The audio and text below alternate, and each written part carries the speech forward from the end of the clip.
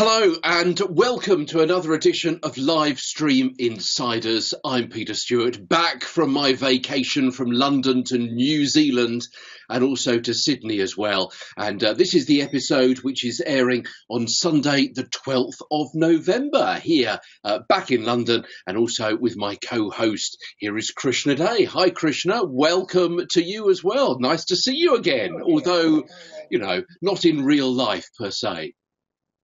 It's great to have you back, Peter. But it's also been wonderful to have all those people with us that actually joined to actually take your kind of very big seat that has to be filled. But it was great to be able to deep dive into some content but we've got lots of things coming up on the show this week. And thank you, everybody who's watching us here live, or those of you who are watching us on the replay. We really appreciate you being with us. And here on the Live Stream Insiders, Peter and I have been together for more than two years now.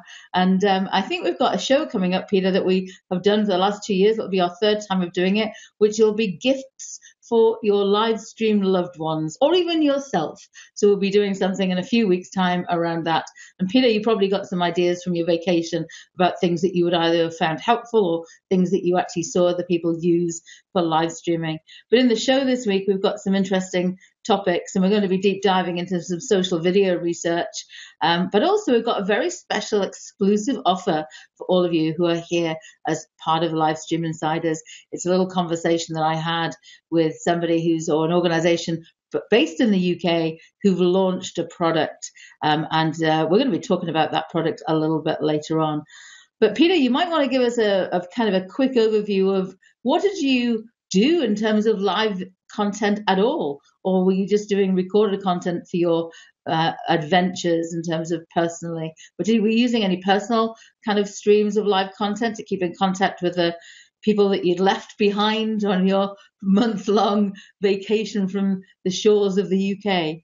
Well, you know what? After uh, doing the uh, the book, the uh, live streaming handbook for the last uh, several months, and uh, in fact, I even had a, a, few videos, excuse me, a few emails from the publishers while I was away, uh, just tidying up a few loose ends. What I decided to do was to actually concentrate not on live streaming or on video, but actually to concentrate a bit more on some still pictures. So downloading a few still photography apps and trying to work out how they work and trying to think much more about about angles and compositions and yes the rule of thirds but also um, looking at uh, looking at depth of field and things like that and as I say looking at angles and texture and when you've got some fantastic uh, things to work with I'm still trying to find uh, I still find it a little bit difficult to do the you know the big panoramas the uh, the big views the landscapes but when you've got some terrific uh, raw material to work with like the Sydney Opera House. I mean, how about that for the different angles and the shapes and the big sky uh, and the whole of Circular Quay and the whole of the Sydney Harbour Bridge and so on? Obviously, that gives a whole load of uh, of uh, scope to uh, to still photography, which, as I say, is something that I wanted to uh, to get into a little bit more. So, coming up in uh, today's program, I'm going to be talking about uh, uh, a, a, new push, a new marketing push by YouTube. And also, uh, Krishna, forgive me if you've done this already, but I shall uh, notice uh, w- whether you, you, you have or done, whether you have done it or not. And that's by John D. McHugh, who's written a really interesting article from Verifeye Media about when you are doing some live video and you're also thinking about having that as recorded as well. How do you shoot live video when you're going to be repackaging it as a pre-recorded package for later on down the line. Something that's going to be particularly useful to something that I'm doing in my uh, day-to-day job, which I uh, get back to properly tomorrow after all a month away. So that's going to be a bit of a shock to the system.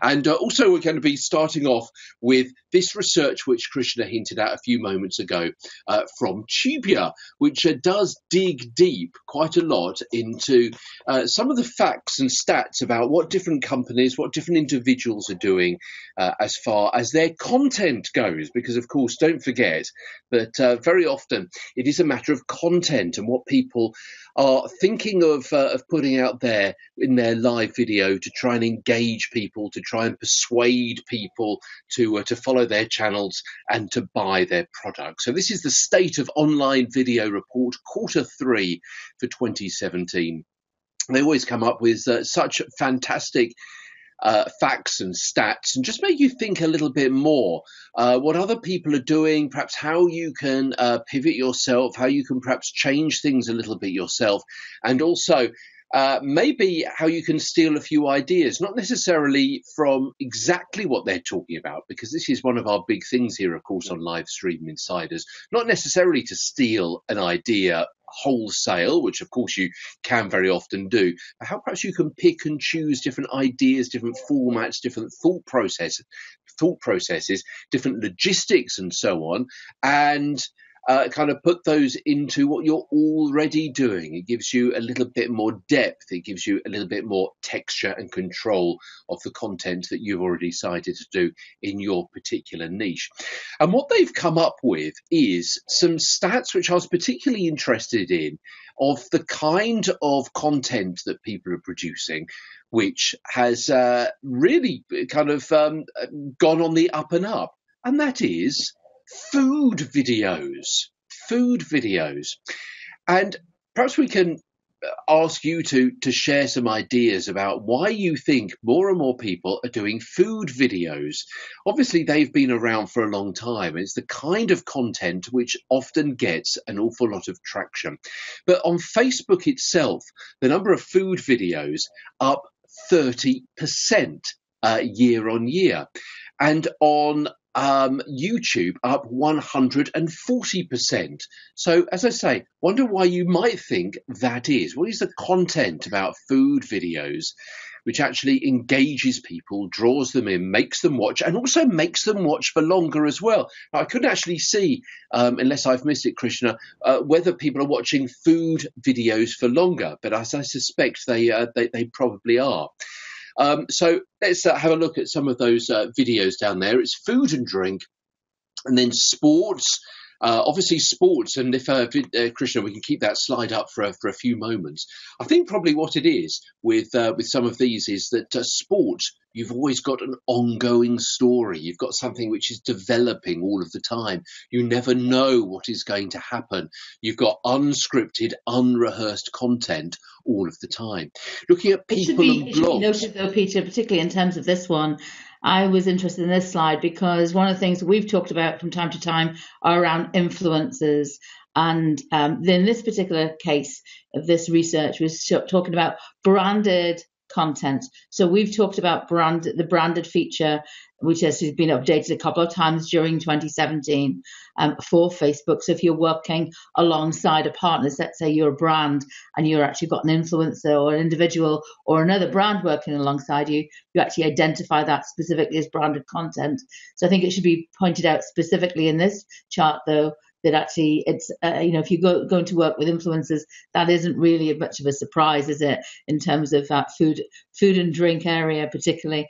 And the other thing we should also just say particularly if you're working with alcoholic beverages um, or any products that are going to reach a, a, a, younger age group, you need to make sure you're compliant with Facebook guidelines and also your marketing guidelines in your own in your own country or the countries that you're serving. So um, I think it's quite interesting as we look at this research about that play with influencers as well. Absolutely, and of course, uh, Krishna, your your background is in, is in food and drink distribution, isn't it? So uh, uh, that's where you're coming from on on that. If we can just have that slide up again, Krishna, so we can go through perhaps some of the thoughts, some of the ideas, and maybe Patricia and Stephen and Kimberly who are watching can uh, come up with uh, their suggestions about why some of these topics are working really well, particularly on video, particularly on live streaming video as well. And I think a lot of it is because you never never know what is going to happen. As I say, with something like sports or something like gaming, also in there we've got a lot of uh, teaching and education uh, videos. So obviously, it, it, it, always stands to reason that people are going to want to uh, to learn something either of you or something for themselves for their life. So, for example, of you, then you can look at something like uh, news and politics. They want to know your views on something, your particular take, your particular spin. But coming back to things like music and dance, home and DIY, they're actually getting some information which is of use to them, which is uh, particularly useful for them. Um, also, I think it's really interesting because we hear so much about things like uh, beauty, health and fitness, and uh, and self help. Uh, some of these kind of uh, perhaps um, um, softer subjects, some of the the softer content, but also we've got some harder stuff in there as well. The cars and the trucks and the racing and the gaming and things like that. Uh, and uh, as I say, also things like uh, like news and politics too, uh, and also some subjects where people can perhaps have some some inbuilt passion as well as the knowledge, uh, maybe about films and uh, and movies uh, and, and, and also showing much more about themselves um, uh, and, and, letting their own personality shine through, uh, not only on something like news where they can get really passionate about something, uh, but also on, on, on entertainment uh, and, and perhaps just being a bit amusing and showing much more of their own personality. What I think is really interesting is the, the, the, top rated um, bar there and also the bottom rated one as well people not talking so much about business? Is that because business isn't working on, on live streaming video that people or, or, or, that people aren't actually trying it so much? Why is small and perhaps large businesses not actually getting the traction that you might expect. You know, we've all seen the uh, the success of some of the uh, uh, experts that we've had on the program before, from small businesses uh, selling uh, selling things in, uh, in, in this country. We know about the success of people like uh, Chocolate Johnny, of course. Uh, we know of the success of people like Mitch Jackson, uh, talking about um, things that they are selling, uh, whether it be uh, legal information or whether it be um, school bags or whether it be chocolates all of those people that I've mentioned are going almost worldwide success live streaming information, backgrounds, uh, behind the scenes information on what it is they are producing and the kind of expertise and the kind of help that they can give people. That's on the on the business side. So I'm surprised that's not getting a bit more traction. But also, well, let's look. To note, Peter, in terms of the research, I think for our viewers, is this is not just about live video; it's also about recorded video. And so I, I know there was a comment there in the chat about how interesting and how odd it was about food videos, but I actually don't think that's odd at all because number one, just look at the number of even celebrity chefs who are actually publishing content specifically on YouTube. I know I subscribe to some of them and they're very regular in terms of their updates. The second thing, in terms of the platforms that have been working really well or the, the channels that have been working really well on Facebook, particularly in terms of video, has been such as those short uh, kind of maybe 30 second, 90 second videos that are actually been um, coming up in terms of from it could be even from food bloggers or people that, that you and I know or brands. And if you just take a look at a couple of other pieces of research, and we're going to, as always, have links to the research in the notes um, because um, you'll always get that afterwards from the tubular um, uh, research for Q3. A um, couple of things to note in terms of YouTube and Facebook um, in terms of the influencers. Influencers dominated both YouTube and Facebook as mega creators, and that's creators with over 100 million lifetime views. So it's no re- there's no question about why brands and organizations want to part with it, partner with influencers. So it's not brands who are who are actually publishing more content. It's not media companies, you know, the likes of news organizations and so on. You might have thought that was what it was. No, it's actually influencers. A couple of other things to note as well on that research in terms of the mega creators on YouTube are producing 42% of the uploads. So, you know, whilst Peter and I produce content all the time and we upload this show, we're kind of insignificant compared to the volume of, of uploads that are being is being done by those mega creators, be that brands, media companies, or influencers. Again, influencers being 56% of that share of uploads. Influencers also had more views, 4.2 uh, 4.2 times more views than media companies and 33 times more views than brands in quarter three. So again, that's why organizations are working with influencers. Of course, you've got to be compliant with the guidelines with whatever country you're in, um, the Advertising Standards Authority, um, for example, if in the UK or in, in Ireland. And um, uh, in terms of food related views, continuing to grow. Um, and uh, that's the figure that Peter was talking about before in terms of that 30%.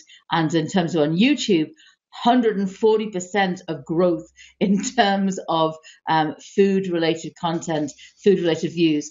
And I think one of the other reasons for that, Peter, is the fact that I'm actually seeing um, organizations now, even if they're not in the business of food, trying to make their content relevant and talk about food because it has become so popular. So if you can, let's say, you know, you've got a business and you can make your story related to food and food recipes and so on, um, I think that really will help you in terms of getting some of that content viewed.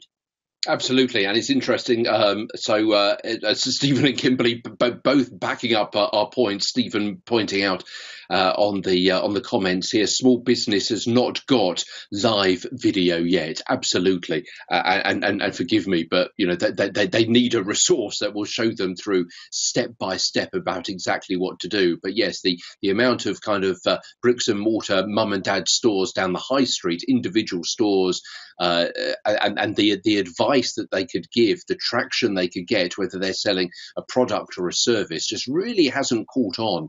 And I'm not entirely sure what that is. I suspect a lot of it is that if you are a small individual, privately owned store, you just don't have the time because you are running everything from stock control, you're running the, uh, you're, you're, you're sorting out your accounts, it's staff issues, and it's the day to day running as well. So the advertising, the marketing side, uh, which is probably not something that a lot of people are particularly comfortable with, perhaps does go a little bit on the back burner. And uh, Kimberly saying, I can understand food being at the top. Personally, most of my television time is spent watching uh, cooking channels versus anything else. Of course, yes, I mean, there are more, I would suggest, more cooking channels on the TV uh, than there are uh, niche channels for, for, for, any other topic.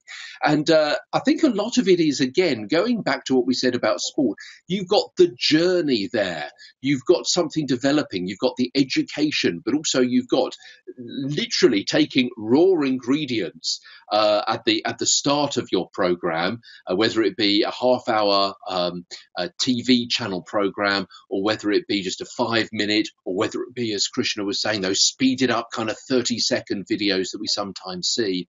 Uh, you've got the raw ingredients and you're actually making something and you're seeing what it looks like at the end. It's a bit like those kind of room or house transformation programs as well, but actually far more engaging because it looks better, it's different every time. It's something that you can do yourself and it is visually uh, engaging. It is literally uh, mouth wetting as well, which is uh, which is all of those ingredients. Excuse the pun, which comes into it. It looks good, and you've got that journey.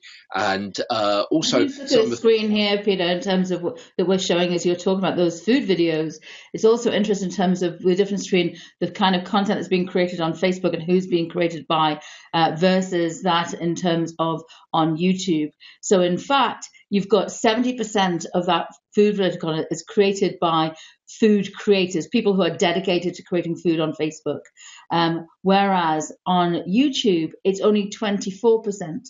So there's a lot more people kind of getting into that whole sphere of creating food related content just as I actually were, was talking about before if you can relate your business to food then that's a, a good way to get some interest there's lots and lots of great content, I think, in that research. I know there's other things that we want to get onto. Um, we'll make sure that you have a link to the the uh, research a little bit later on. But I don't know if this has intrigued you or enticed you, Peter, in your business um, in terms of your day job to get more food related content to be created? Well, in, in, fact, we do have a, a, a, chef in the studio on a Friday, and I'm just thinking, why are we not doing more on that? We're posting pictures of the uh, of the final thing, uh, but we're not actually showing the video of how it actually got there. We're posting the ingredients and the recipes, but we're not actually doing that video. Uh, for me, actually, it's late on a Friday afternoon, and I'm not around, so maybe I need to work out exactly how to do that. And also, I think I read in that report um, that there's been a resurgence in Asian food, which is being shown uh, increasingly on video as well incidentally, if I can mention the holiday again, and I was looking in lots of uh, lots of cafes and so on, uh, and, and restaurants all around Circular Quay in Sydney Harbour. You've got that iconic design of the Sydney Opera House, and you know what? So many cakes and pastries that were available none of them made any effort that I could see to make any cake with some kind of of a stylized version of the Sydney Opera House on top of that. And I was just thinking, you know, you only need three or four little triangles of white chocolate, and you could uh, identify the Sydney Opera House uh, in cake form. Um, so um, I wonder why no one was doing that, but particularly interesting. And of course, it's something that uh, the, the food videos, which uh, Al Roker and his team there at Brand Live were doing um, uh, you know, 18 months, two years ago, when the uh, when, when, there was that resurgence of uh, of live streaming videos that uh, Al Roker from the United States got on board with, as I say, 18 months, two years ago. Okay, Krishna, uh, quite understand. Let's leave it there. We're uh, more than halfway through the program, so I know there's a few things that you want to pick up with as well. So, Krishna, back over to you. So this is an app that I came across during the course of the week, and I was I always love wherever the apps come from, but I especially give it a little bit more love if it's actually from the UK or Ireland, because obviously that's where a lot of our focus is in terms of the people that we work with and the people that we reach. And I think this could be interesting for all of us to have a look at. And I'm going to tell you about an exclusive offer that was generously given um, to anybody who's watching live streaming insiders. And I'll tell you how you're going to be able to get access to this. What intrigued me about this app, which is actually called um, Yack, you'll find it's a great great name yack.net as they say um, over here you know stop yakking as in stop talking or you yak a lot. And so it's kind of a pretty good name. And yack.net they're based in the uk but this is an app that works on desktop and on mobile. It works on ios specifically for mobile at the minute. Android is coming. It works on pc and mac app is actually coming as well. And what you can do is you can connect and this is, I think, really good for productivity. You know, all live video content does not have to be broadcast to the world. I do a lot of live video content um, actually privately with clients or um, with organizations I'm a member of and so on. And what I really like about this app is that when you're speaking or and you're in a meeting, um, or in terms of if you're doing video, then you actually will have a transcript. So it automatically transcribes what people are saying. So, from a productivity perspective, yes, of course, you're going to need to go back through, like you do if you're using YouTube or Facebook um, auto captions, you need to go through and edit it. But I think it's a great way to get started in terms of that transcript. The other thing you can do in the app is you can um, use Instant Messenger. You can also share content as well. Now, this is a paid for tool. Normally, you get seven days access to the tool. But in this particular case, what they've said to me is that if anybody um, wants to, you can have access to it to the end of 2017 for free. So that's going to give you a good, as we're here now, um, still in the first first third, I should say, of uh, of November. It'll give you a, a good seven weeks or so in terms of being able to put this tool to the test. And in fact, even if just one of you in your organization signs up to be able to use it, anybody else who joins you in that meeting will be able to also access the that transcript if you uh, you know as, as, as it's enabled. So i do think in terms of live video does not have to be done in terms of always publicly. Live audio, one of the people that we had on during the time that Peter was away on vacation, we talked exclusively about live audio for that episode of Livestream Insiders. And we've talked about that a few times as well. And I just think this is really, really interesting. So if you head on over to yack.net and you actually look to create an account there, just message them, send them a message through their support area, tell them that you heard about them on Livestream Insiders, and you will get access to um, being able to use the platform until the end of the year. Now, if you do have a problem with that, if they can't remember that they committed to that, then obviously message us here at Livestream Insiders. But I think that was very generous of them to do so. As I said, it's usually a seven day trial. And just because I showed an interest in it and I said I was actually going to talk about it on the show, then they've actually made that generous offer. I do think um, it's a great way, though, to to be more productive in terms of with meetings. You know, in the in the past, in my day, you know, used to have somebody who would have kind of captured notes. And one of the biggest problems with meetings is, do you ever get round to actually somebody creating meeting notes or action points from it? I don't know about you, Peter, if you've ever been in meetings, but it's a real pain if you're being asked to be the secretary of that meeting to have to capture it. I think this is a, a great way to actually start to um, put some some more processes into there and automating that content. So that's yack.net. Head on over and uh, tell them that you found it here. We don't get paid to tell them to tell you about it. We're not getting anything in return. It was just a generous offer from them to, for you to be able to access to the end of the year. Absolutely. And uh, all of this information is coming to you free. Uh, we're not pushing any particular product or service or company or website or anything like that. We just want to, to help you get more out of live video streaming uh, and also live audio streaming, as Krishna was saying there, and sometimes expand that a little bit more into the professional streaming channels, uh, which are being set up by uh, by companies with with multi-camera angles and that kind of thing as well. So it's the hints and the, it's the hints and the tips and the tools and the techniques, the strategies, the logistics, the workflows, all sorts of different things that we bring you this time every single week. We're into our third year now, so I would suggest we're probably the longest running regular program on uh, uh, about live streaming, but on any live streaming channel. So stick with us. Uh, we are the people in the know. Krishna I'm Peter Stewart. Thank you for watching as well. Maria, not seen your name before, so thank you very much indeed for coming into our program this week as well. Um, something which uh, kind of reflects on what we were talking about with the tubular uh, quarter three report of the state of online video. Uh, and that is a new push by YouTube um, to get more people to create content for YouTube rather than uh, just merely watch. It's uh, a bit of a marketing push by them. You may be thinking, hold on, they actually need more content? They need more people to create? Uh, well, actually, they reckon they do. And uh, it's a marketing push. And also, they've created a, uh, a small film as well um, which is a digital video with uh, uh, 90, 30, 15, and uh, six second formats which they're uh, pushing. And it's called More Than Just Viewers. It's to get more creators. And what they're particularly wanting more people to be uh, to be putting up on YouTube is some more kind of um, specific and some niche content. Yes, the cat videos. Yes, the fun stuff that your kids might do or say. Yes, I'm sure they won't mind to get some kind of uh, uh, equivalent of uh, what Facebook had with the Chewbacca mums and things like that as well, and the exploding watermelons. But but particularly, and as I say, this goes back to our, our, our lead item, um, subjects which they're particularly interested for people to create content for education and entertainment. Uh, also, workouts and music lessons. So, people actually learning stuff, perhaps in long form video or a series of videos. Uh, also, parenting classes, so not just funny things that your kids might say.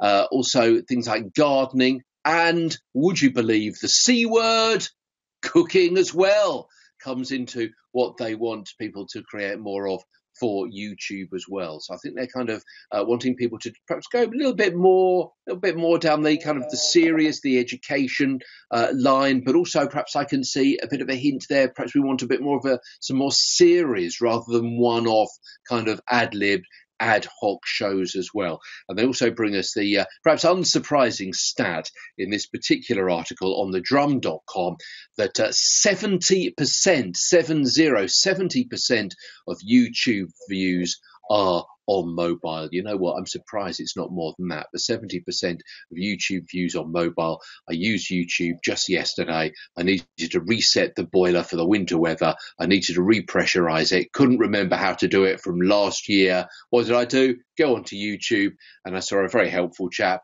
uh, from the uh, from the from the makers of the boiler that showed me exactly how to do it. And you know what? The boiler hasn't blown up yet, and I am now nice and snuggly warm as the temperature drops to freezing point in London town tonight. So uh, that was my most recent time of using YouTube over the last uh, last 24 hours. Uh, from London back to uh, back to Ireland, and a Krishna De has more. So, Peter, for our last story, I'm going to be talking about something that I haven't yet had the opportunity to try. Perhaps you have. I keep asking people, have they got this next tool, but they don't. But before I do that, some of you might know that actually my daughters are all great swimmers. And the little story there about using YouTube reminded me of a few years back of somebody who I know who was looking to train to actually do a triathlon and they couldn't swim. And his name is Steve. And uh, I remember him telling me, because I was teaching a session on terms of video, and this is many, many years ago. And he told me that he'd actually learnt to actually swim by watching YouTube videos. Now, I don't think he had his laptop or his you know, tablet or his phone next to the swimming pool. But that's actually how he taught himself to swim to participate in a triathlon. And don't forget also that YouTube is fantastic in terms of the search, in terms of being found. That's also still important to us.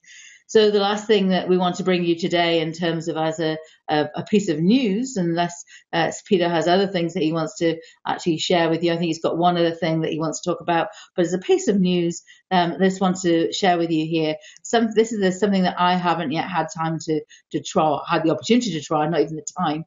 Um, and do let us know if you tested this out because I haven't seen too many people in my network doing so. And this is Oculus.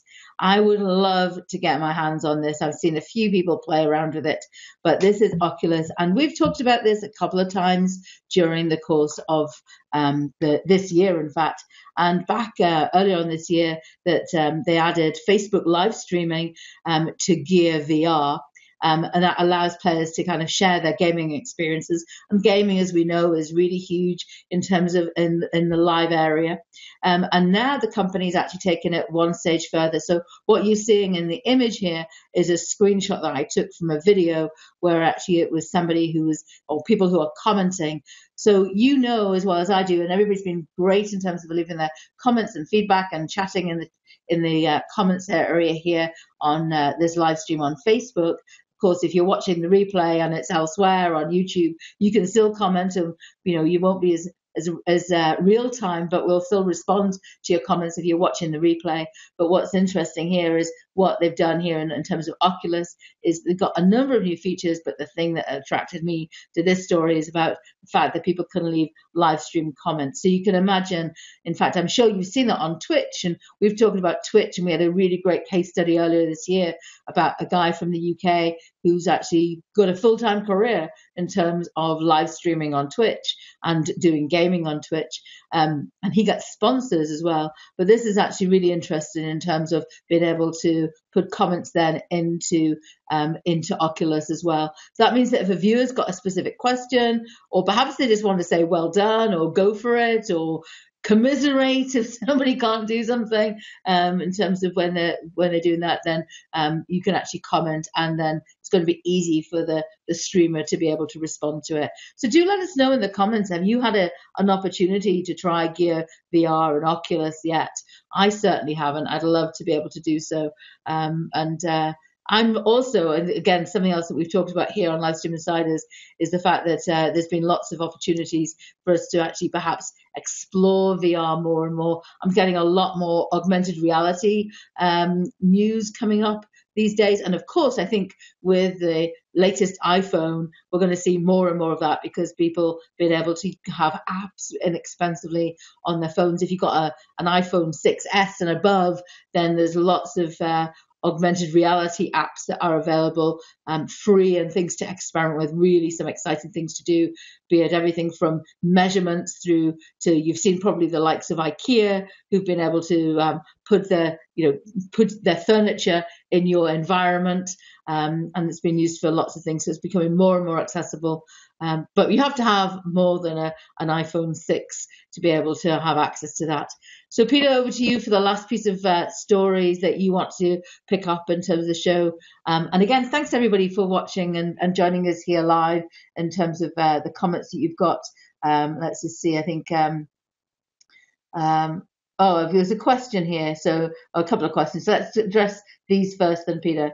Um, first, the comment from Patricia saying when she was in Chicago, she always checked across uh, in terms of the access to channels before the commercial ones. She also also liked prefer watching uh, regular folks versus actors. So I think that goes back to the story that we had a little bit earlier on in terms of the, the different channels that were actually being um, viewed and and, uh, and watched from that story. Uh, and Bobo is saying, um, have we got Facebook Live yet?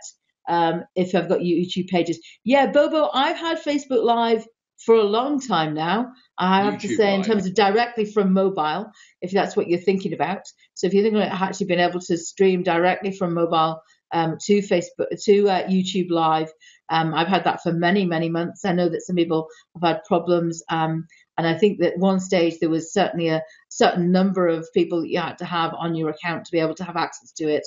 Um, but no, I've got that. And, and he's saying he only has access to it to one of his channels. So just make sure that your channel is in good standing, I think, Bobo. And um, I don't know if they've got still a, a minimum number of um, requirements in terms of subscribers to your channel um, to be able to do that and maybe also just enable it for monetization. That might be another thing that actually obviously you need to do to make sure that you've got access to live on there. So if you've done all those things behind the scenes hopefully it won't be too long till you get it. But thanks patricia and bobo for your comments and uh, and questions there. And let's just see if there's anything else here that's come up.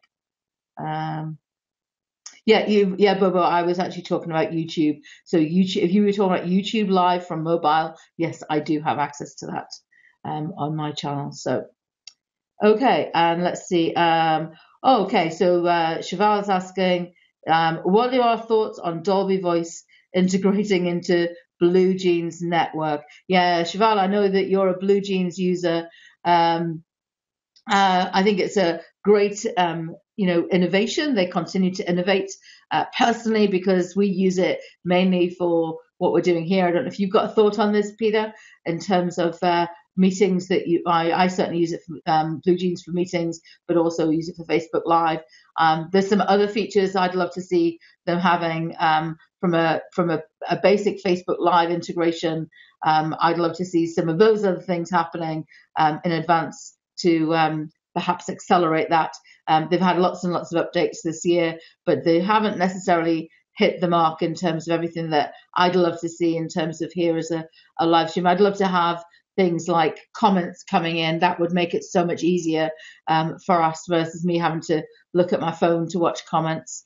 Um, and also lower thirds would be great. We love Blue Jeans. We've been using it for more than a year now for our shows, and I use it also for private meetings as well. Um, but yeah, Dolby Voice is, is a great innovation. Um, I say I'd love to see some other things for those of us who are using it for live streaming as well. Um, Peter, over to you. Yeah, well, I'll tell you what, um, there was one more thing I was going to bring you, but uh, part of our philosophy here on uh, live stream insiders is we like to keep the uh, the program to around about 30 minutes because then you know where you are, we know where we are as well, and uh, we can, you can uh, manage your minutes and manage your megs, uh, your time and your data. so we'll hold that other thing that I was going to be talking about about doing live um, video with bearing in mind something for the edit, so something that you can uh, record live that you can repackage later, it sounds a bit of a difficult concept, doesn't it? And something else to think about while you're doing a live stream. So we'll leave that over uh, for next week. So that concludes live stream insiders for uh, for this particular week. Thank you again so much for watching.